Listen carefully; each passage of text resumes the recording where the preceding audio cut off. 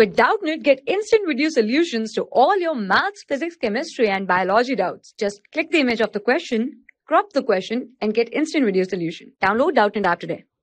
So guys, so here in this question it is given that in the given question let the charge be released from rest at point B. So what will be the what will be its uh, kinetic energy and uh, when it crosses a point A. So we don't have any kind of diagrams for this uh, particular question.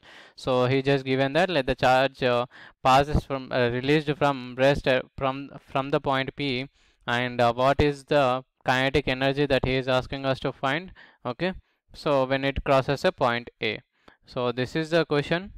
So from this question I can say that when the point is released the potential energy uh, changes to kinetic energy okay?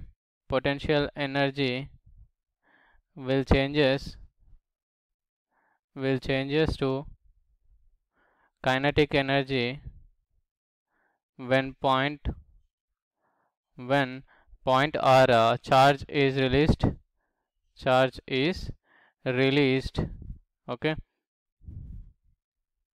so as uh, in the question it is said that a charge be released from the rest at from the point B it seems. So the in that time potential energy changes to kinetic energy. Okay.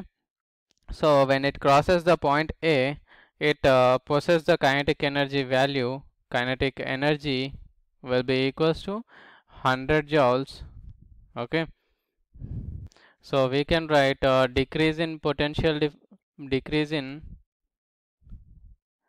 decrease uh, in potential energy decrease in potential energy value can be written as potential energy ub minus ua okay? So we can write this as 100 joules. And increase in kinetic energy value is also same. Increase in